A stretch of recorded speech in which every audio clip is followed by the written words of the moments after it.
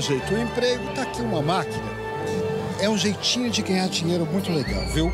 É uma máquina de estampar camisetas, uma máquina de estampar canecas. Dá uma olhada só. Olha, você faz essa impressão do jeito que você quiser, com a foto que você desejar. Com ela você pode produzir e vender camisetas, chinelos, azulejos, canecas e muito mais. Pode faturar de 4 a 5 mil reais por mês. Afinal, o mercado de brindes e presentes não para de crescer. E essa é uma excelente oportunidade. Agora, Marcelo também tem uma surpresa